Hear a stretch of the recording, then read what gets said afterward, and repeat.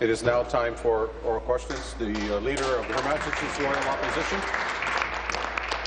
Thank you, uh, Speaker. Speaker, my questions to the Minister of Finance. Uh, Minister, could you please uh, brief the Assembly on the additional costs in your budget from the Liberal government's decision to cancel both the Oakville and Mississauga gas plants? Thank you, Minister of Finance. So, Mr. Speaker, uh, the members of the opposition are inquiring about something that they said they would do. Members of the opposition are saying, we'll cancel the power plant. In fact, the leader of the opposition was there in a bus doing a press conference with a pink elephant, no less, saying, we are the ones that will stop the power plant. We are the ones that will cancel it. We said we would move it. And the member now is suggesting that somehow what they said they would do, they now say they could not do. We at this side of the House said we would, a promise they made that we kept, and we've accounted for it, and it is going through as it should be, Mr. Speaker. Thank you. Supplementary. Well, I, uh, I don't think, Speaker, I got an answer to a very uh, straightforward question. I think that um, when you're, I, I, recognize that this is the minister's uh, first uh, uh, budget as as finance minister, and some of my colleagues say hopefully last we get Ontario back on track in the province. But um, so surely your your budget must be close to finality, if not ready to go. And you are aware of the gas plant cancellation costs. After all, you were in on the decision. You were a key component of making that decision, and now you see the actual numbers. So you can play political games, Minister. You can continue these sort of political stonewalling that has become the typical Wynne McGuinty government approach, or you can just answer very simple and direct question. As finance minister, your budget's ready to go, so why don't you just please tell us question? what are the costs that you've assigned for the Liberal decision to cancel both Oakville and Mississauga gas plants. Thank you.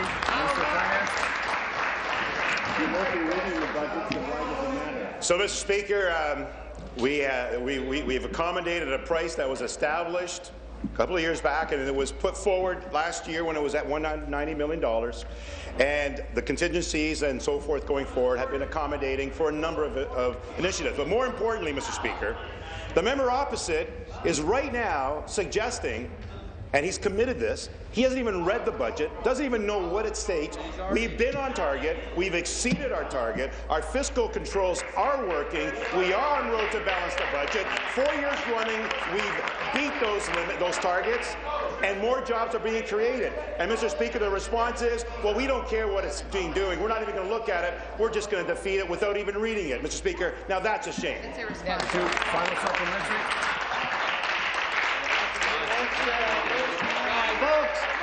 Be seated, please. Be seated, please. Be seated, please. The, uh, that's. Uh, if there's uh, going to be any assistance for me, I'd like to ask for it first. New question. Well, thank you, uh, Speaker. Um, you, you, know what? What is the, the ministry uses the term? It's a shame. Um, what's clearly a shame is a minister uh, who's preparing a, a, budget can't even uh, stand his place and tell us exactly what the costs are going to be to cancel. And, and I mean, let's be very direct here. You've been in on this decision to cancel the gas plants from day one. You are intimately aware of the details of how much this is going to cost taxpayers and increase the fiscal hole uh, in your budget. If I heard you correctly, Minister, you said the $190 million has been booked. I was listening closely to your answer. So are you telling us that the hole in your budget is only $190 million the cancellation of the gas plants when the Auditor General himself says it's much more than that? Are you really sticking to that old story that it's only $190 million? Or will you come clean Question? and tell us exactly how big of a hole does your cancellation of Mississauga and Oakville gas plants cost the Ontario Thank you. So, Mr. Speaker, we're moving forward on a very strong, balanced budget, a budget that doesn't put at risk our economic recovery. It's a budget that speaks to the needs of the people of Ontario. And it's not about political games, Mr. Speaker. This is about what's the best interest of the people of Ontario. The opposition are obviously gunning for an election.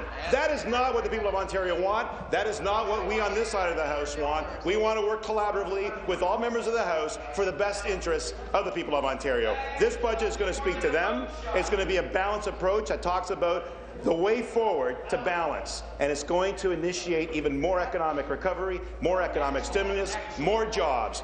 And our measures, our restraint measures as well as our stimulus measures, is working. We've beat targets. We're exceeding results. We're ahead of all other areas of Canada. And, Mr. Speaker, that's what we should be doing together for the people of Ontario, and that's what we're going to be doing going forward in the next very good answer.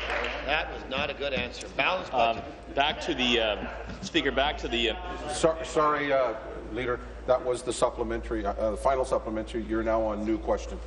Thank you. Thank you, uh, speakers. Uh, still back to the um, the Minister of Finance, who had a bit of a slip. He said it's a balanced budget.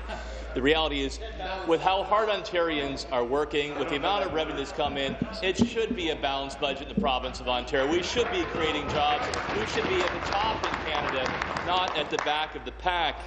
The um, the minister can't answer a very basic question, and I, I know you know the answer because you were there at the cabinet table when Dalton McGuinty and Kathleen Wynne made the decision to cancel the gas plants. You were the finance minister. You were one of the members who taxpayers may have paid anywhere from 650 to over a billion dollars to save your seat. I mean, this is not just simple wasteful spending. This is a direct and conscious decision of your Liberal government to use taxpayer dollars to cancel gas plants. So, uh, the minister, I'll give you one last chance on this. Will you please tell us? Would you please tell us Question? a, exactly how much you have booked in your fiscal plan for the cancellation of the Oakville and Mississauga gas plants? you. It's a simple question. Why not a simple answer? Minister of Finance. So, Mr. Speaker, we have brought forward the materials necessary. The AG has signed off on our fiscal matters. We've been very open and transparent. Mr. Speaker, we're the government that didn't hide $5 billion when they were last elected. We're not the government that is putting forward any secrets, Mr. Speaker. We're being very open and transparent. We're being, and we're not selling off assets that are going to provide even more revenue and more growth for the province of Ontario. We're going to continue doing what's in the best interest of our public. And I can tell you, Mr. Speaker, our deficit is under control. We have what it takes to balance our books by 2017-18. We're exceeding our targets four years running. Our growth in spending last year was under 1%. Coming forward in our next budget, you're going to see even better results, Mr. Speaker. Thank you so much. Supplementary. I, um, I'm sadly startled, Speaker, that the Minister of Finance says they've had no secrets. He said they've been open and transparent. Then I asked the minister, why did you bury what 40 to 60,000 documents? Why did you keep the cost covered for so, so long? And why were you in on the decision around the cabinet table to bury the cost of the gas plant cancellation? It was PC members here in the House, supported by the NDP, that brought the contempt motion to the floor, that got the answers here. You try to keep it hidden. We want taxpayers to know the answers. It's far from no secrets. It's far from open and transparent. Minister, this shakes our very confidence in your ability to bring in a budget that will actually get us to balance. It shakes our confidence in your ability to grow the economy. It shakes our confidence in this government's ability to help those 500,000 women and men, our friends, neighbours, and relatives who are out of work. I'll ask it. Why won't you be honest with taxpayers? Tell us exactly what this is going to cost. Surely to goodness, it must be in your Thank you. budget plan. You know the numbers. you you. made the decision. Be seated, please. Be seated, please. Thank you. Minister of Finance. Well, thank you, Mr. Speaker. You know, the people of Ontario want their representatives to represent them. And I have been representing my community with pride and with responsibility. I have stood in this House, even prior to being elected, to defend the interests of our communities right across the province. A mistake was made, we corrected it, you agreed with it, and it should have been done much earlier. And as a result, we're taking the actions necessary and we're taking the decisions that are necessary to get it right. And Mr. Speaker, we made other tough decisions, like tax reform, like lowering business taxes, like lowering consumers' taxes, like ensuring that we have a value-added tax system that makes us competitive. And as a result, we're the third largest jurisdiction in North America to attract direct foreign investment. People are coming to Ontario. Ontario. Answer. More businesses are coming here. More jobs are being created because of the actions that we've taken. The opposition are advocating a, a, a slash and burn policy that would hurt our ec- Thank you. Final supplementary. The, um, I'm incredulous that the finance minister would simply dismiss the cancellation of Oakville and Mississauga as a mistake that was made. A mistake that was made. This was not ordinary incompetence. This wasn't standard ways we'd come to expect. This was you putting the Liberal Party ahead of the interests of taxpayers, ahead of the interests of jobs, ahead of the interests of ratepayers in our province. It was a deliberate decision to spend money to save Liberal seats, including yours. And we see what the thinking is. The minister says, well, he has a duty to represent his constituents. He has a duty to be their representative. Sir, you have a duty to spend taxpayer money wisely. You have a duty to look out for the money that people send to Queen's Park, and you have the gall to spend a billion dollars on it to save your own seat. That's not what a finance minister does. Speaker, clearly, it's time to change the government. If this finance minister thinks he can spend a billion dollars to save his own speech, we can do a lot better than this, Speaker. This finance minister Thank you. clearly out of his depth. Be seated, please. Be seated, please. Be seated. Thank you. Minister of Finance. Thank you, Mr. Speaker. I said also that I have a duty and a responsibility to the province of Ontario. That's why the lessons learned that what we've done in terms of what we're going to do forward in citing of such projects will be corrected. And that is what's necessary because we're always working for the best interest of the entire province. One thing that the opposition member and the leader has not been doing. In fact, He's been talking down Ontario by calling us a banana republic. We are the province that have been leading the, all of Canada with more jobs than the rest of Canada combined. We're taking the necessary steps to try to promote certain sectors of our economy for greater economic renewal. And the opposition members would rather fight and, as opposed to collaborate. They would rather put us down rather than pick us up. Fortunately, the people of Ontario know better. They're willing to work. They're doing their job, and we're going to do ours as well. Thank you, Mr. Speaker. New question. Be seated, please. Be seated, please. New question. The Leader of the Third Party. Thank you, Speaker. My question's to the Premier. In an interview in today's Wall Street Journal, the Finance Minister is quoted as saying, and I quote, People are aware of the fiscal realities before us. They know the government must take a measured approach to bend the cost curve and control our spending, unquote. Does the Premier agree with this view, Speaker? Premier. Absolutely, Mr. Speaker. I absolutely agree that we need to take the uh, take the measures necessary to uh, stay on track to balance the budget by 2017-18, and that's exactly what the Minister of Finance has been talking about in the previous questions. It's what uh, it's what the Leader of the Third Party will see as we bring our budget forward, Mr. Speaker, and that is what is expected of us by the people of Ontario, Mr. Speaker. In order to be able to deliver the services that everyone in this province needs, we need to make sure that we have fiscal responsibility along with investment in a fair, fairer society, Mr. Speaker. That's, that's the balanced approach our budget will take. Supplementary. Well, Speaker, other media reports indicate that the government still plans to phase in new corporate tax loopholes that will let Ontario's biggest corporations write off the HST when they buy gas or take clients out on the town. Now, if the government's trying to bend the cost curve, Speaker, why are they investing over a billion dollars a year and yet another no strings attached corporate tax loophole? Is that what the people of this province can expect from the Liberals? Thank you very much, Mr. Speaker. And I know that the Minister of Finance will want to speak to the details, Mr. Speaker, but I just want to say that I think what is necessary now is to look at the budget in its entirety, Mr. Speaker, because it is an organic document in the sense that there are there are supports, obviously, for business, Mr. Speaker. It's very important that we make sure that business is competitive and that we can bring business to the province. But at the same time, Mr. Speaker, there are areas of concern that we have identified that we know are areas that we need to be working on, and some of those I think the, uh, the Leader of the Opposition would like to work on us with us, Mr. Speaker. So whether it's home care, whether it's youth unemployment, Mr. Speaker, whether it's making sure that the, so that the social assistance system is un, uh, unraveled in the sense that it becomes a more rational system, Mr. Speaker, all of those things are areas that we want to work on. At the same time, we have to get our fiscal house in order, Mr. Speaker. We need to work towards a, ba a balanced budget in 2017-18, and that's what you will see in the budget, Mr. Thank Speaker. you. Final supplementary. $1.3 billion goes a lot of ways to uh, make the uh, books balance, Speaker, I got to tell you. Look, it's people that make our economy work, and it's people who need to be the priority when we plan for the future.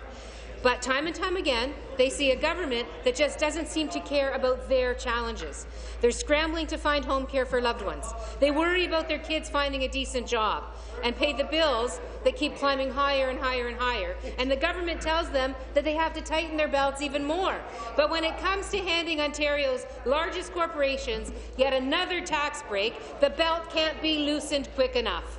How can the Premier tell people they have to pay more and expect less while she's handing Ontario's largest corporations over a billion dollars a year in HST breaks?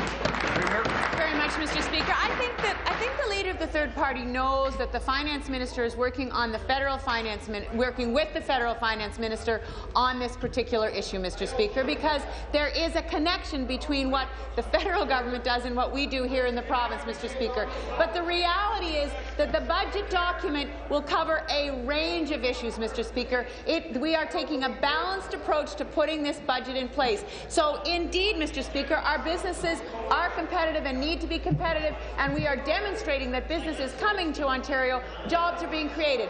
At the same time, we need to make sure that those services that are so critical to people's lives every single day, that those services improve, Mr. Speaker. There's always a way to make those services better and to continue to make sure Answer. that our young people, that our, our young children, uh, our First Nations children, Mr. Speaker, that our seniors, that people across the province who need government supports have those supports. Thank you. New question?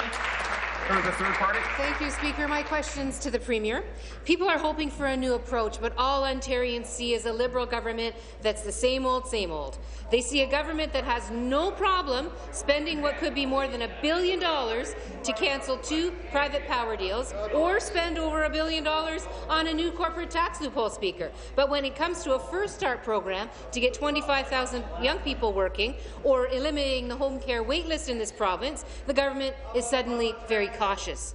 Will the government tell Ontarians whether they should expect another status quo Liberal budget this time around, or will the Premier finally commit to putting families first? Well, thank you very much, Mr. Speaker. And I, again, I know that the uh, the leader of the third party.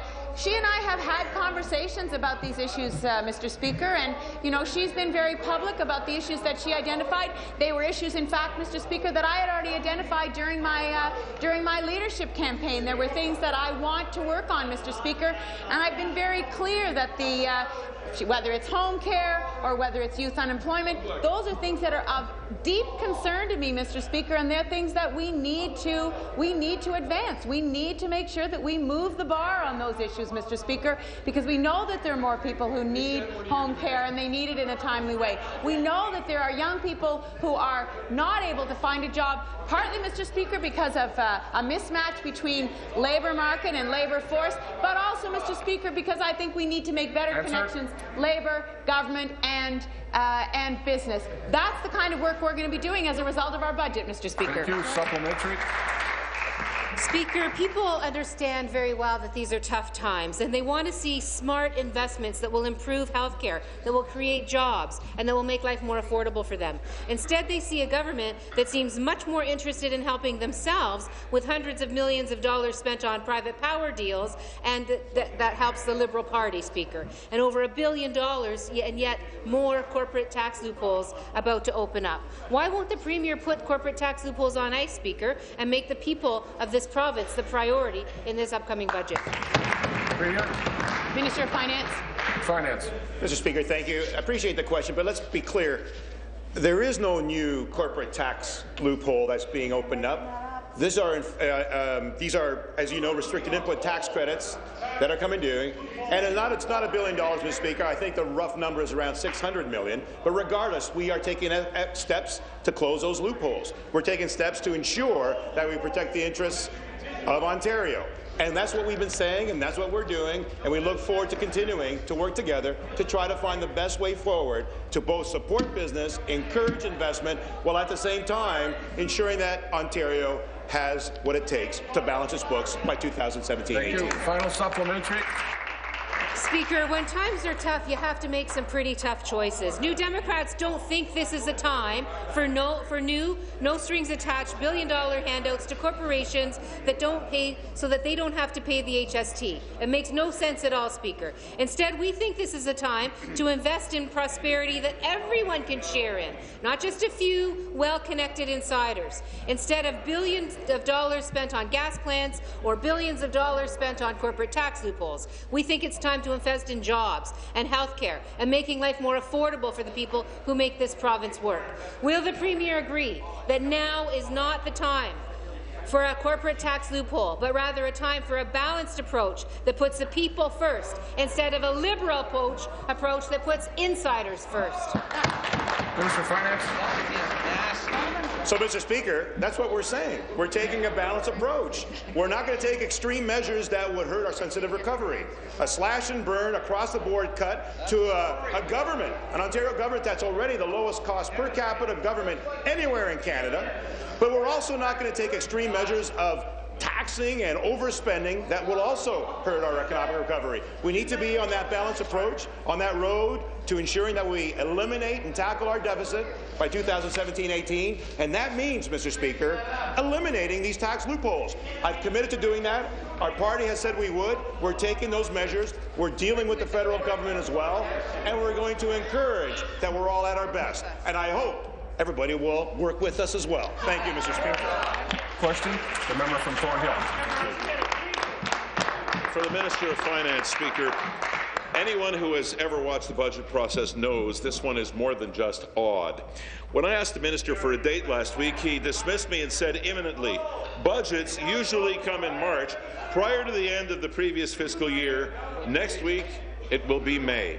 Liberals cannot fathom what the word balance even means. The minister's numbers don't add up, but he promises balance by 2017-18. We can only conclude there's no plan, just a black hole that keeps on expanding and swallowing up Ontario. Yes, Minister, we'll all know more after your speech at noon, but the Economic Club is a group of business people who pay to hear you talk. Why won't you just tell all Ontarians right now, for free, how you can control spending without a single piece of legislation aimed at doing that. Question? Ontario's jobs and spending crisis aren't even on your radar. Are you planning on slamming Ontarians with massive tax increases? Minister of Finance. Very quickly since February 19th. Yes for an answer. So, Mr. Speaker, uh, I- I've been awaiting and I've been talking with all members of the opposition as well as my own caucus. And more importantly, Mr. Speaker, I've been consulting with people all across our province, and we've touched more people than we've ever done before in preparing a, a budget that speaks to them. And, Mr. Speaker, in our consultations with the member opposite was a delivery of the uh, Finance Committee's report. I've committed to reviewing that report prior to announcing our budget. And, you've and I've received it just last week, at the end of the week. I'm making every commitment possible to work together, and I'm hopeful that you'll read the budget before you announce what you're going to do, because you're already saying you won't even approve it. We have a strong plan, a plan that's balanced, Answer. a plan that's going to take us on a path to recovery, a plan that's going to ensure that we balance our books by 2017 Thank you. Supplementary. Well, Minister, you may soon have a budget, but most people watching you seem to feel much like we do. You have no credible plan. You're in the front benches of government that has nothing in the cupboard because it tosses taxpayer money down the drain. Imagine how far the billion-plus power plant dollars burned by the McGuinty Wynne election team would have gone if available now, or the 300-plus million and counting that you've handed teachers to cover your missteps of last fall. Tell us, Minister, how you plan to balance the budget by 2017-18 as you have promised.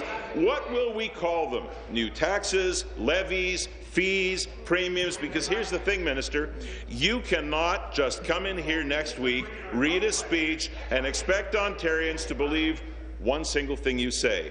The record for your non-mandated government speaks for itself. Question. What is being cut? What is increasing? Thank you, Minister of Finance. So, Mr. Speaker, the, the member opposite just made up a bunch of numbers that are untrue. And unlike the, the, the, the opposition, when they were in power, and in fact, they came out with a budget that was untrue, $5 billion in the hole. Mr. Speaker, we have proven that we can exceed our targets.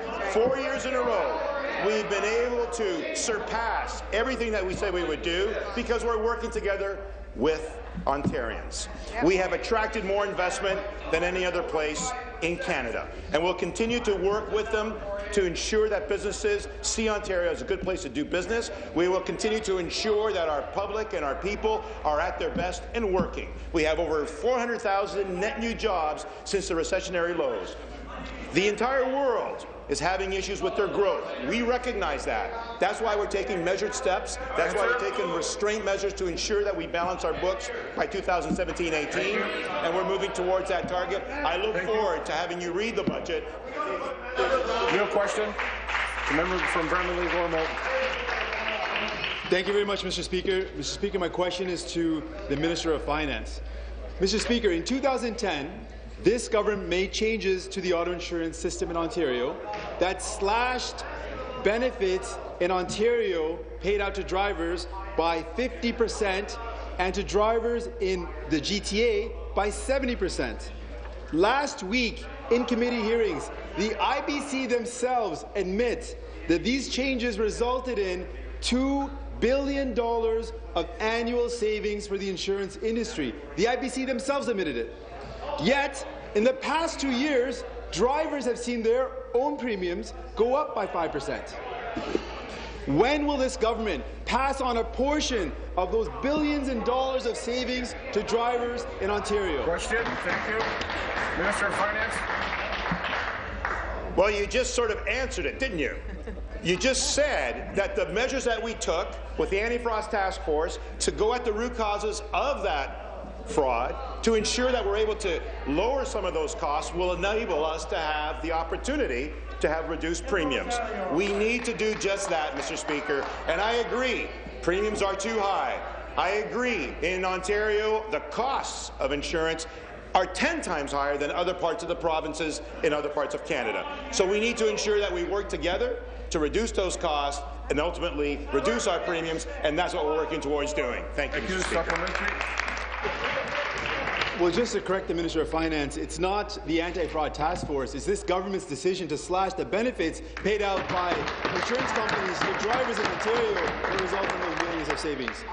On April 12th, FSCO released its report, its annual report for 2013 for the first quarter, and, Mr. Speaker, no surprise, there's absolutely no cut to premiums for drivers in Ontario. In the upcoming budget, this government has a choice. It can either choose to again support the multi-billion dollar insurance industry, or it can pass on the billions and dollars of savings to drivers in Ontario. Mr. Speaker, which will it be? Mr. Speaker, which will it be? Thank you. Minister of Finance.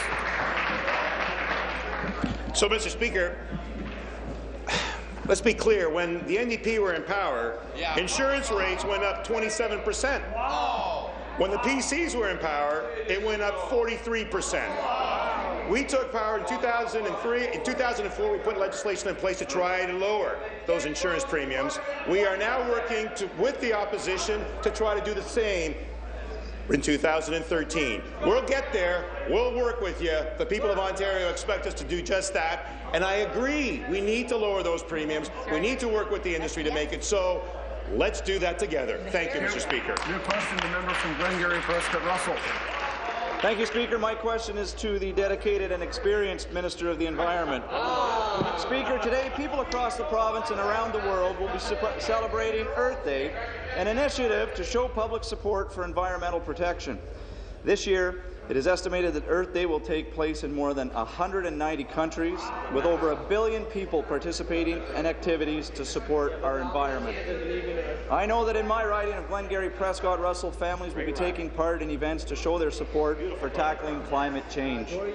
Speaker, through you, would the minister be able to explain the significance of Earth Day and what the people are doing to part participate in this important event?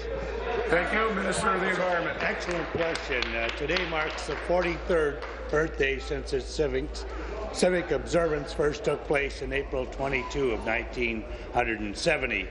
This year, individuals, businesses, schools and organizations across the province will be joining over the 1 billion people across the globe taking part in their communities to address environmental issues. Everyone can take part in Earth Day.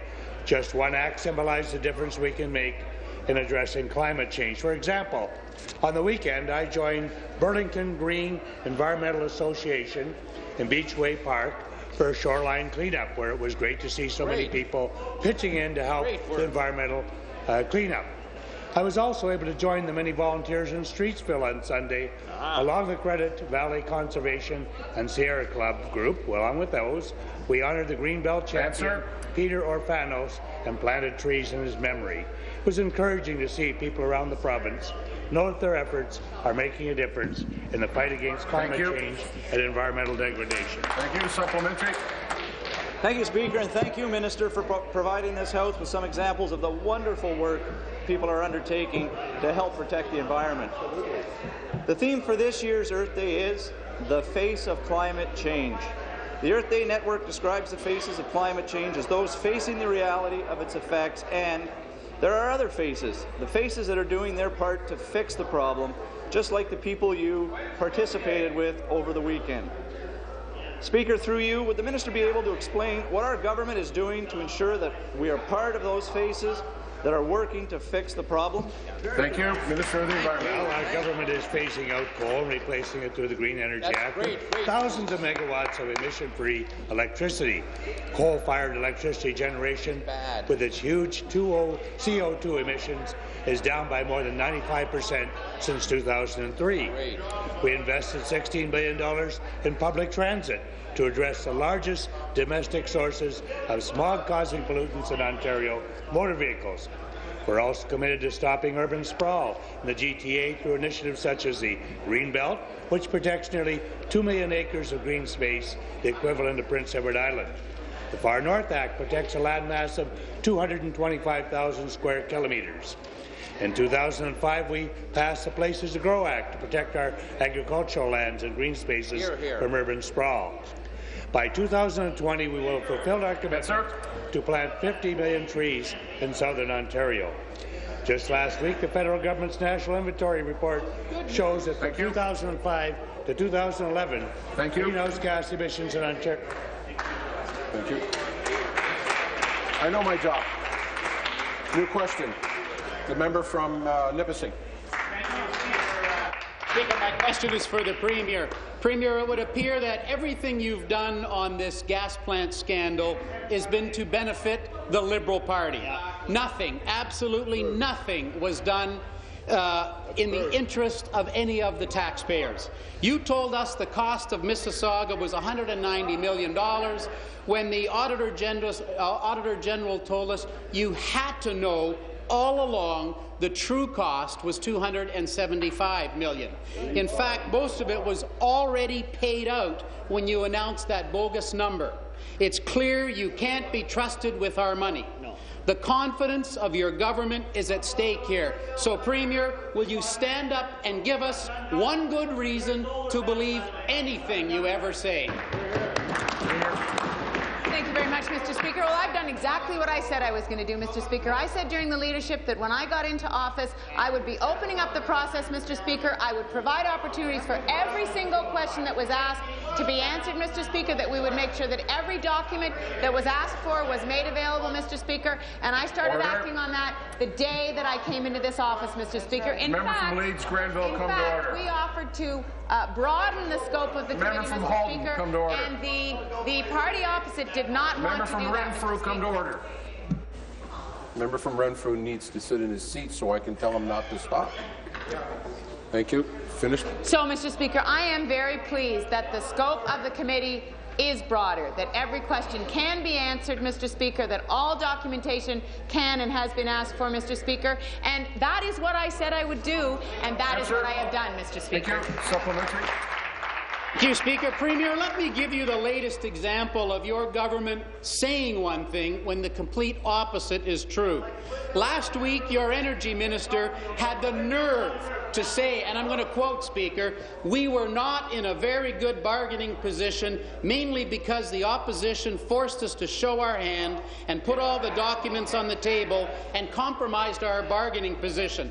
Premier, your bogus $40 million Oakville number was announced before any of the documents were ever released. How could he stand and say that? With the confidence of your government at stake, will you, why do you continue to spread this nonsense? I ask you again, stand up and give us one good reason to ever believe anything you ever say again.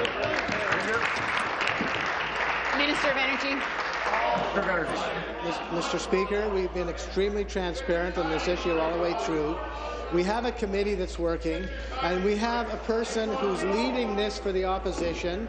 Uh, his brand, Mr. Speaker, is a yellow tie, but I think he wants to change his yellow tie in for a trench coat and call himself Columbo because he's trying to parse and split every fact and every answer in committee uh, and make a tremendous scandal out of it. Mr. Speaker, we've been open, we've been transparent, we've been sharing the information, and most importantly, Mr. Speaker, we have accepted the Auditor General's report and we're encouraging the committee to move forward and be diligent in trying to get better rules Answer. for locating energy sites. Thank you, Mr. Thank Speaker. you. New question. The member from Mount Goldwyn, Manitoulin.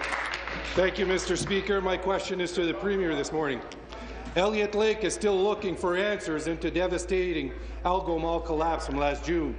The legal counsel for the Mall Action Committee and the Seniors Action Group of Elliott Lake at the public inquiry is now unable to continue representing these groups because his office has not been paid by the Liberal government since last summer. Even the Commissioner himself indicated that this was a concern for the Commission Council and staff. For a community that has suffered so much, this government-caused delay is utterly unacceptable. Will the Premier commit to removing barriers at the Elliott Lake inquiry so that the voices of the victims are not silenced one minute longer? Attorney General. Attorney General. Well, thank you very much, uh, Speaker. And we know how important the Elliott Lake inquiry is, first of all. That's why it was initiated within a, a week or so after the tragedy took place. I've looked into the issue that's been raised with respect to the payment of the lawyers. It's my understanding that the bill was actually submitted sometime near the end of February, and it's being looked after today. Thank you. Supplementary. Again, to the Premier. Um, as stated in the Order of Council, it is the responsibility of the Attorney General's office to reimburse the legal fees of the participants who were granted funding. Yet the government hasn't fulfilled its responsibilities in Elliott Lake for eight months now. Eight months. It is shameful that this government's failures have put extra hurdles in the victims' quest to get answers. Will the Premier ensure that these delays do not hurt the families of the victims as well as the community who are desperately waiting for answers? Attorney General. Well, Speaker, absolutely. We want to get down to the bottom of this. We want the, uh, the inquiry to get to the bottom of this. As I indicated before, the first legal bill that was presented to the government was sometime near the end of February. It went through an assessment process. As soon as the story came out that the lawyer wasn't being paid, we've looked into it, and it's being looked after today. Thank you. New question. The member from Ottawa Orleans. Thank you, Speaker. And my question is for the Minister, Minister of Energy. Minister, since 2003, our government has built a clean, reliable energy system in Ontario. We have introduced stability into the system, invested in renewable energy to become a leader in North America, and created a culture of conservation across Ontario. Those investments have helped us get off of coal-fired generation and ensured Ontarians that they have clean air to breathe. Minister, I know a key part of our energy system has been the long-term energy plan. Will the minister please update the House on what our government is doing to plan for the future of our energy system? Thank you, Minister of Energy. Speaker, I thank the member for Ottawa Orleans for the question. Uh, we've made real progress in Ontario's energy sector since 2003, and the long-term energy plan has been an important part of that progress. The energy sector is constantly evolving, and that's why a three-year uh, review was part of the plan. And that's why I announced last week that we will be conducting a formal review of the long-term energy plan to be completed within six months. Our review will be based on a strong and transparent consultation process with the public, municipalities and the energy sector. Consultation sessions will be held in every region of the province, and we'll engage the Aboriginal communities and their leaders. I'm particularly interested on reviewing our supply mix, how conservation can play a larger role, and how we can create a predictable Answer. and stable clean energy procurement process. Thank you. Supplementary. Thank you, Speaker, and thank you, Minister, for your response. And we look to the future, our energy sector, I'm glad to see strong leadership from our government as we look to the best way to evolve. Public consultation is an important part of what we do as government. I'm glad it will be central to the review. Minister, you mentioned three key areas for consultation as part of our long-term energy plan review. Supply mix, conservation, and procurement of clean energy. These are issues that affect the members of my community and families and businesses around the province. Speaker, would the minister expand on those key areas? Thank you.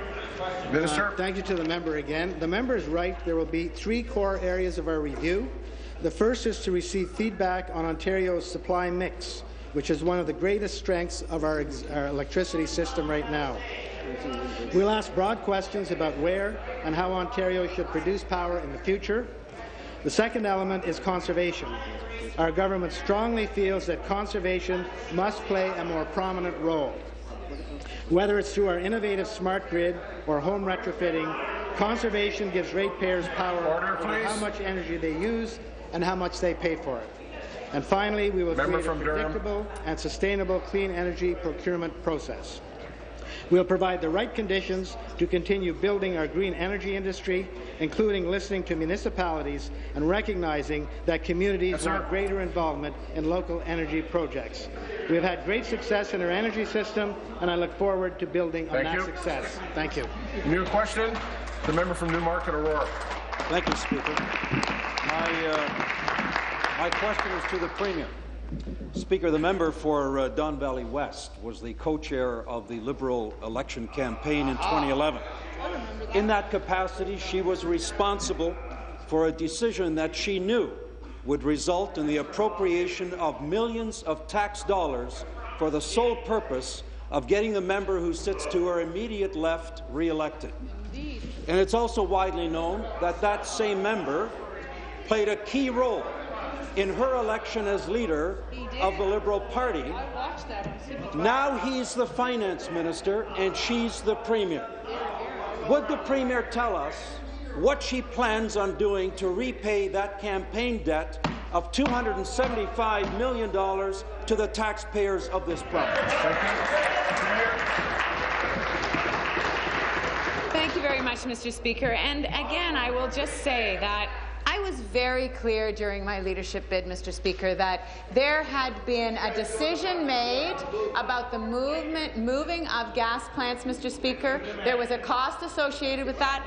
Everyone agreed. Everyone agreed that those gas plants should move, Mr. Speaker. We have acted on that. What I said was that we were going to make sure that all the questions that were being asked were going to be answered, that all the documentation would be available. We opened up the process, Mr. Speaker. I did exactly what I said I was going to do, and we will continue on that path, Mr. Speaker, making sure that the questions get answered, and that's why I asked the Auditor General, I asked the Auditor General to look at the Oakville situation, Mr. Speaker. That is what's happening, and we That's await it. his report. Thank you. Supplementary.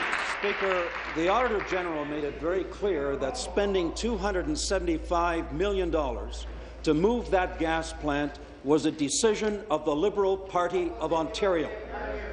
Now, the Liberal Party may consider it acceptable to spend $275 million to save one seat. Government House don't. Leader.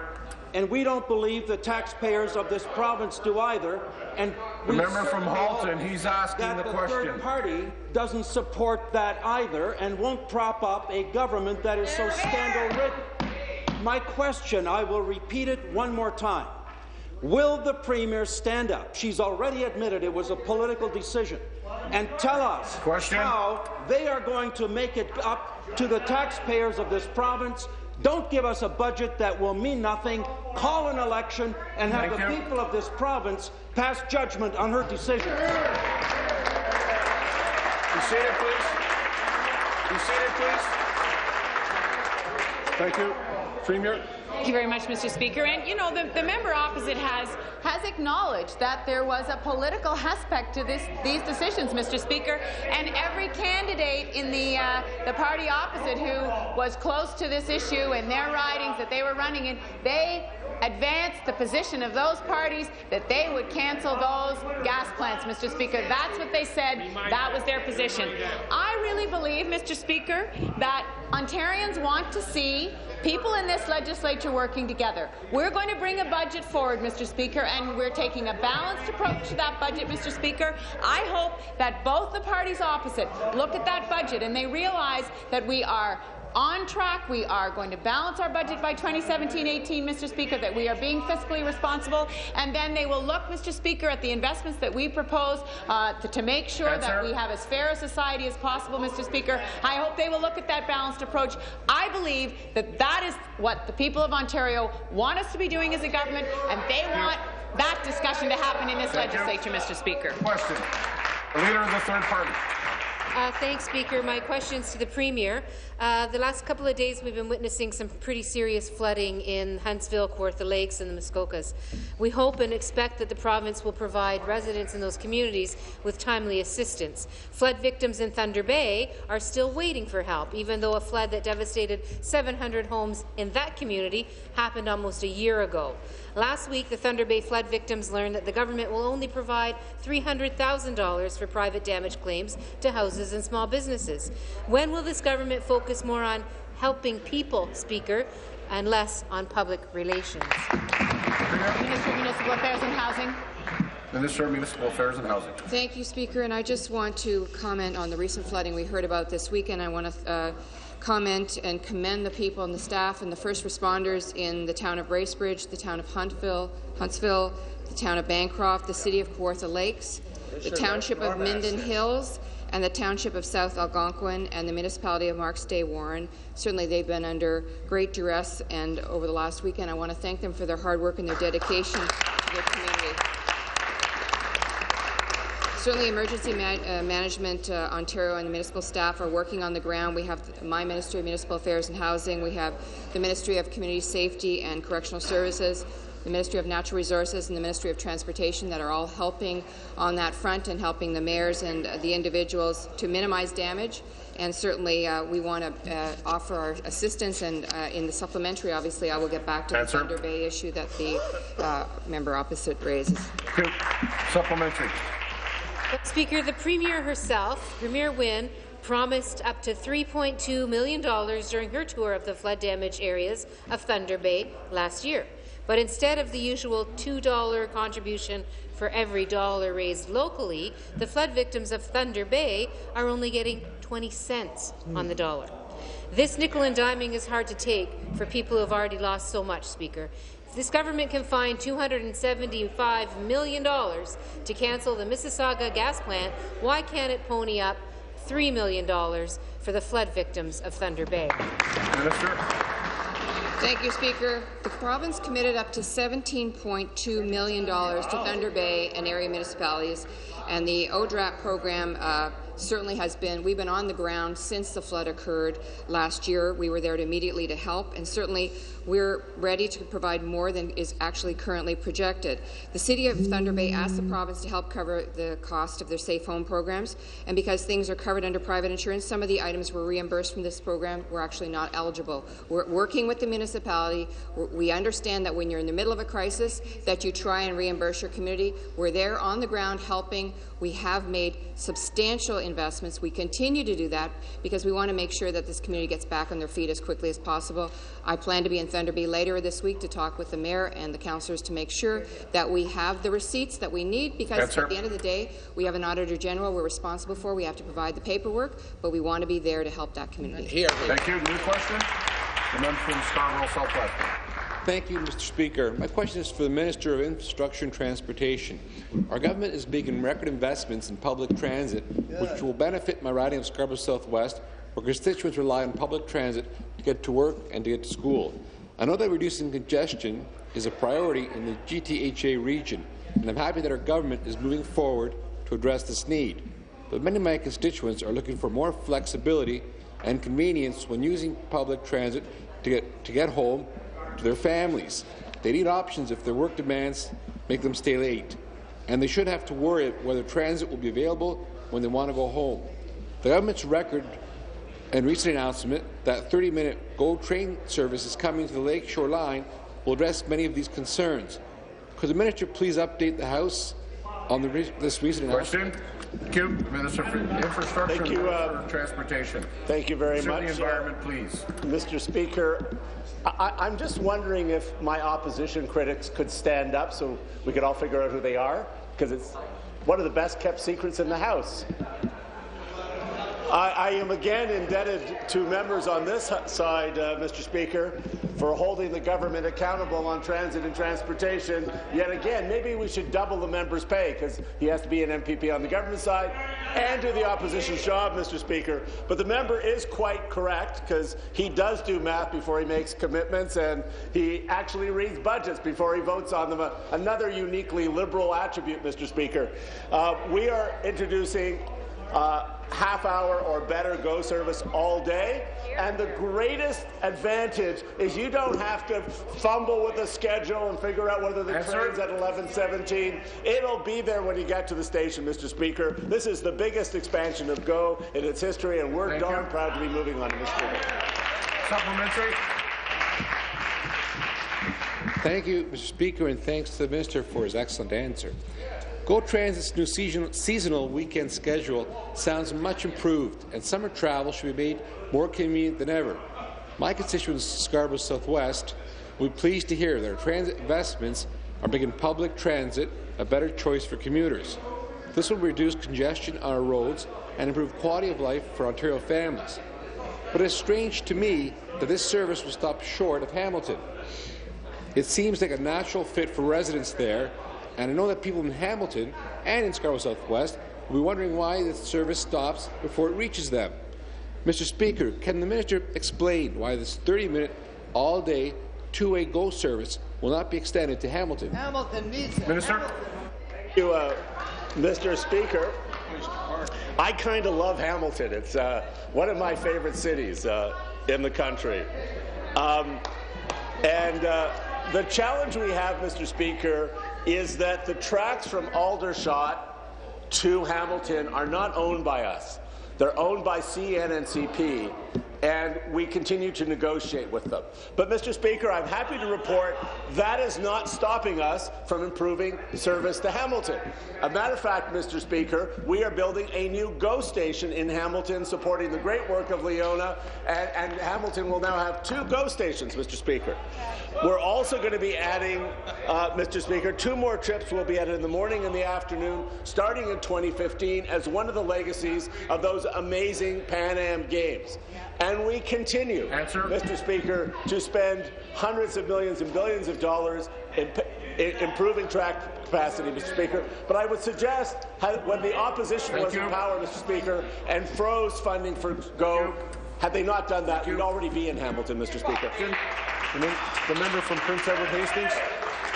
Thank you very much, Mr. Speaker. Uh, my question is for the Premier this morning. Premier, as the chair of a cabinet meeting where the cost of the Oakville cancellation was discussed, it's clear that you know the cost of cancelling the gas plant. Yet, whenever you're asked about the cost of cancelling the gas plant on the floor of the House here, you bring up your offer to appear before a committee. Premier, surely we shouldn't have to haul you before a committee like some Quebec construction industry snitch just to get an answer to a question. How long do you really expect the Liberal farm team to my left to prop you up and prop up your scandal-plagued government when you can't even answer a simple question? This is question period. I'm expecting an answer. I would hope to get an answer from you.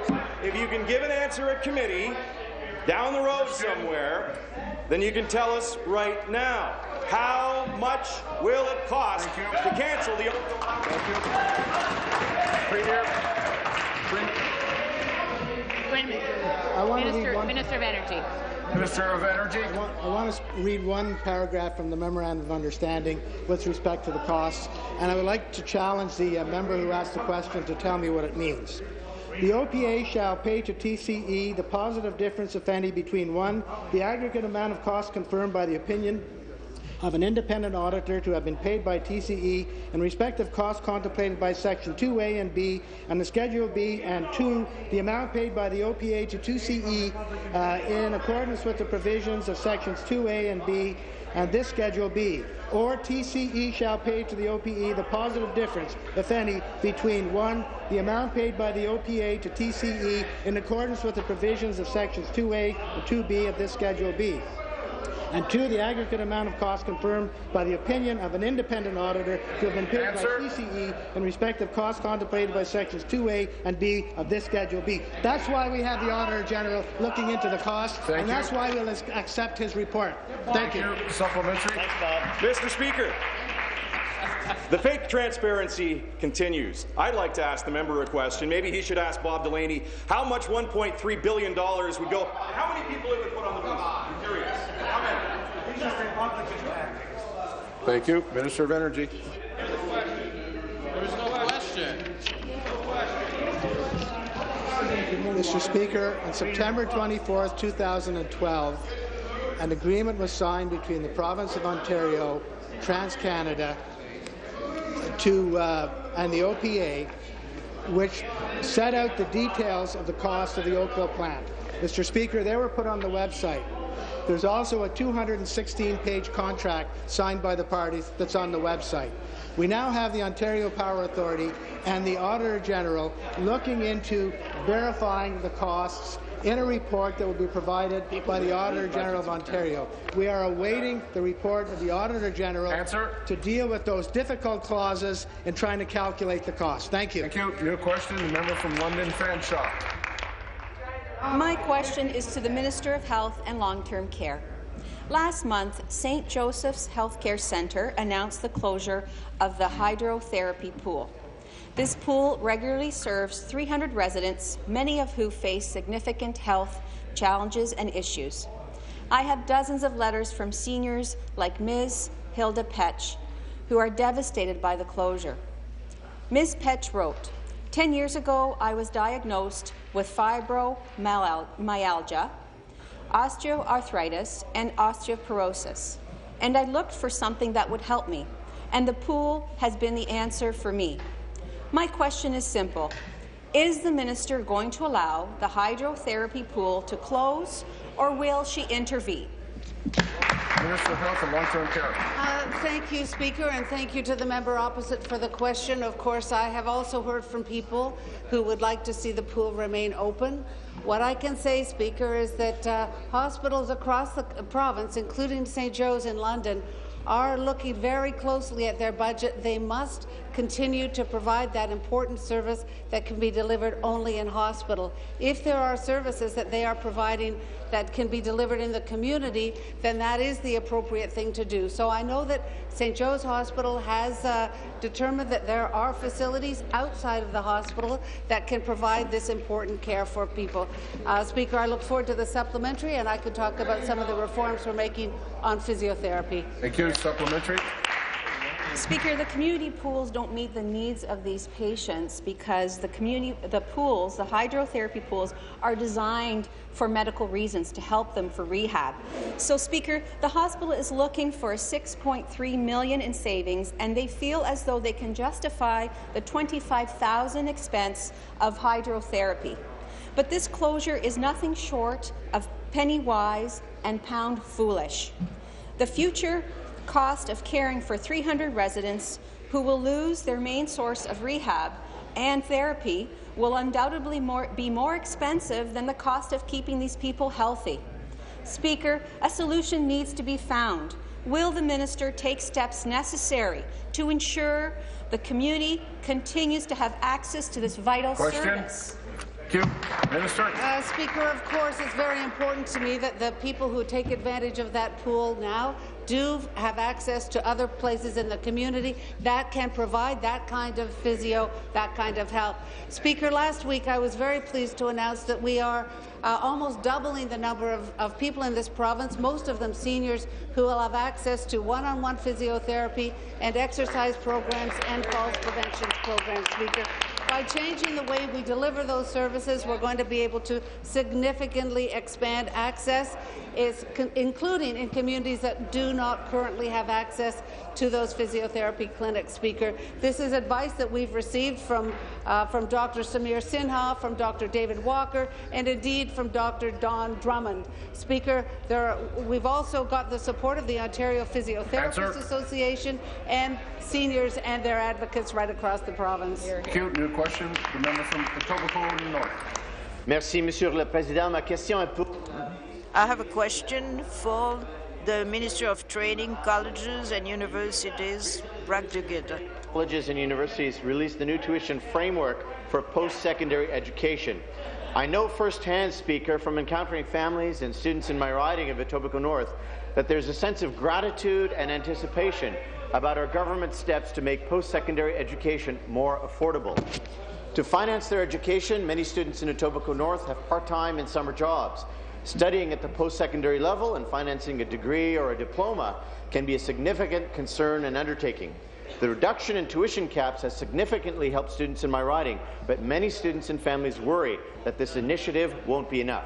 Speaker, through you, I ask the Minister on behalf of students in Etobicoke North and beyond would the minister please inform the House what other programs, initiatives and directives will allow students in our province to access our world-class post-secondary training colleges and universities. Or whatever I said. Well, thank you, Mr. Speaker. And I know the member has been speaking to students in, in his riding by, just by, by virtue of the uh, issues he brings forward in the question.